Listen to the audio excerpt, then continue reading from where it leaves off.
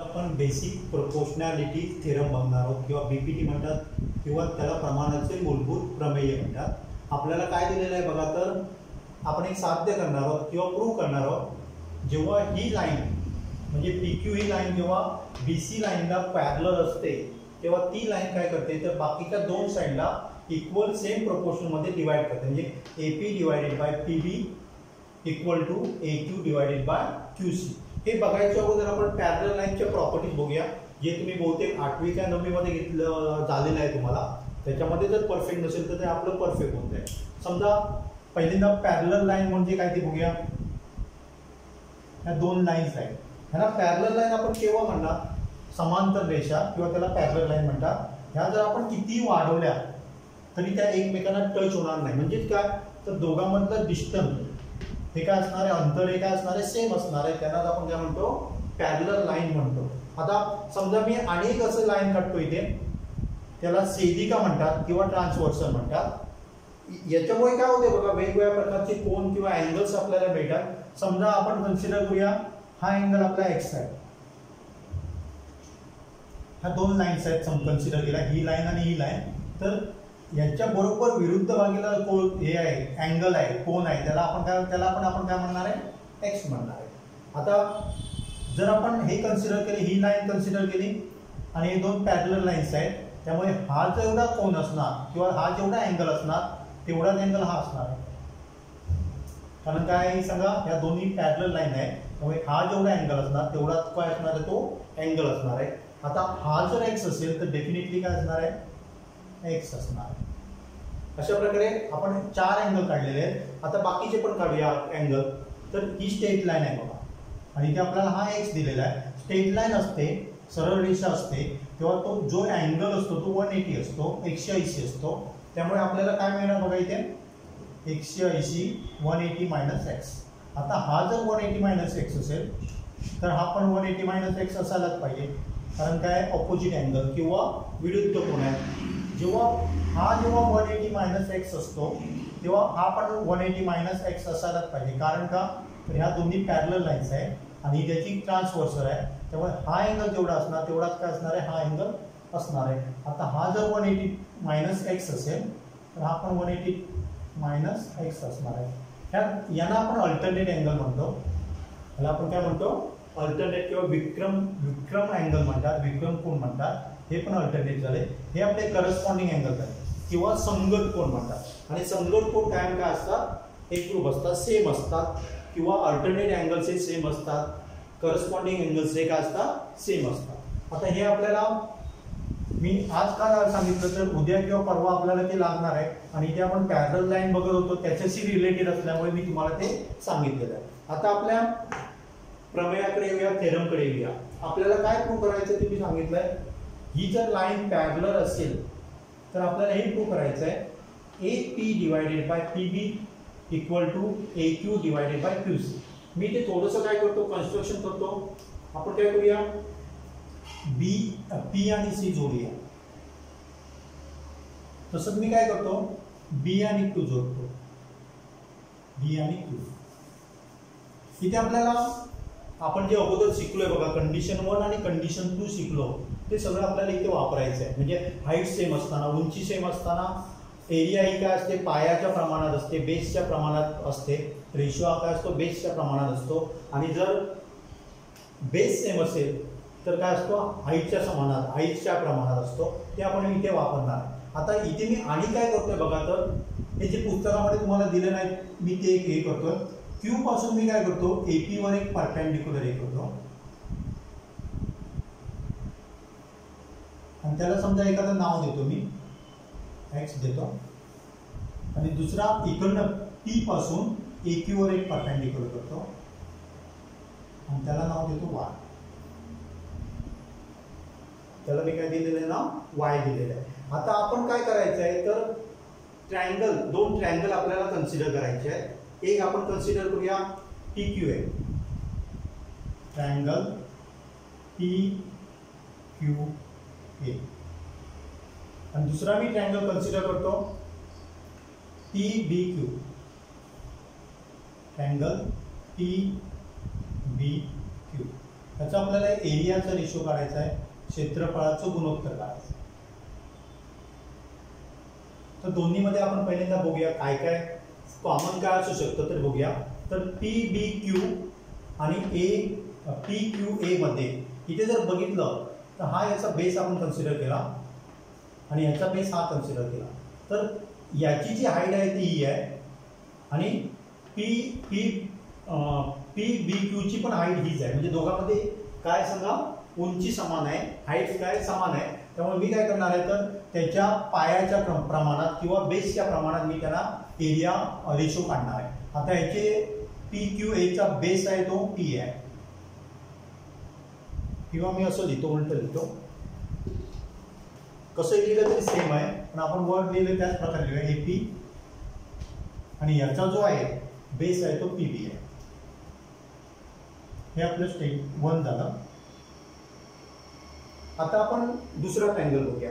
दुसरा ट्रँगल आपण कन्सिडर कुठला करायचा आहे? तर एक आपण ए पी क्यू कन्सिडर करायचा आहे. आणि त्याच्याबरोबर काय करूया? हा ट्रँगल कन्सिडर करूया. म्हणजे triangle area of triangle P Q A आणि एरिया ऑफ ट्रँगल हे घेऊया आपण. पी सी क्यू घेऊया. ट्रँगल पी सी क्यू इथे मी काय करतो तर बेस पी सी क्यूचा क्यू सी कन्सिडर करतो.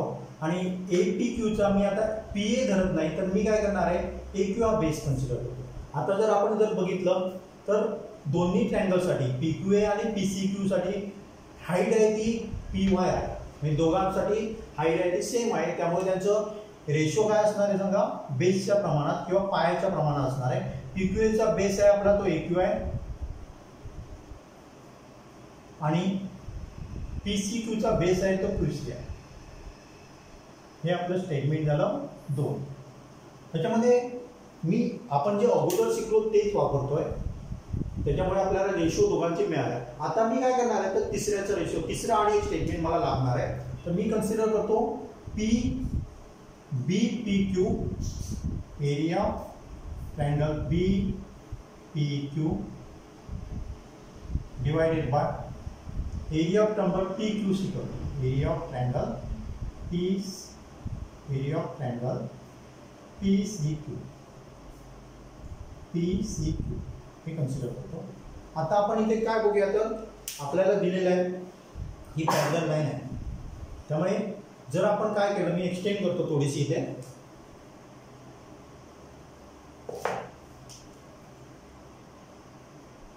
ती मी ते एक्सटेंड केलेली आहे. आणि इकडनं मी काय करतो तर याला एक परपॅन्डिक्युलर काटा टाकतो इथे आपला परपॅन्डिक्युलर आला आणि आपण याला मी नाव देतो समजा एखादं.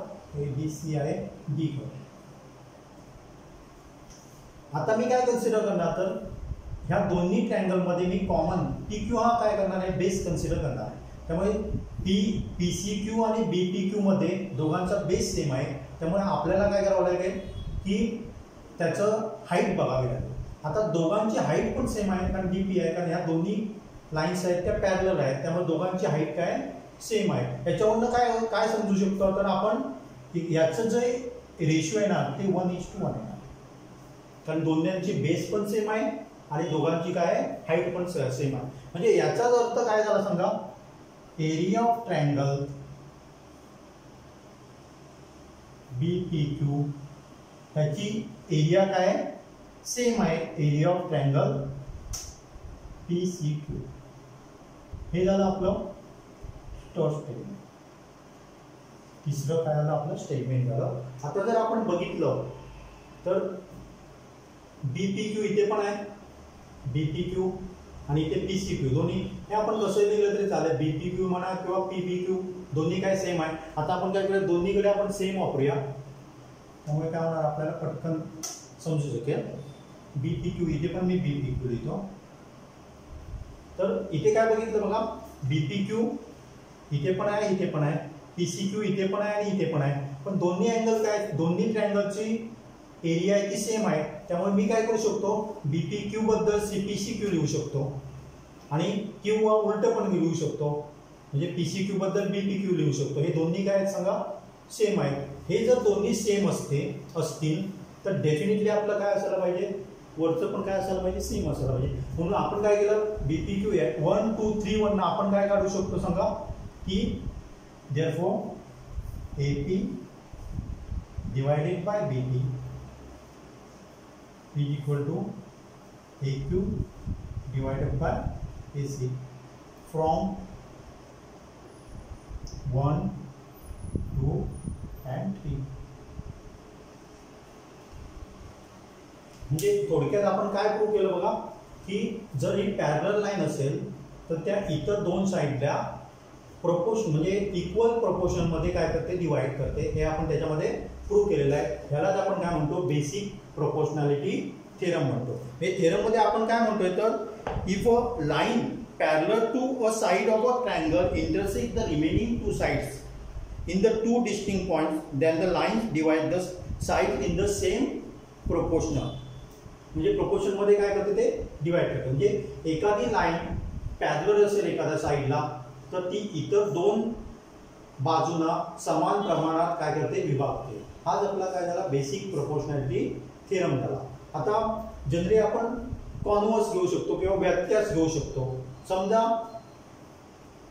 एका एका आपल्याला उलट करायचं आहे की दोन पॉईंट आहे एक रेषा आहे आणि त्याच्यावर दोन पॉईंट आहे. आणि त्यामुळे जर काय होत असेल तर ते इक्वल रेशोमध्ये डिवाइड होत असतील.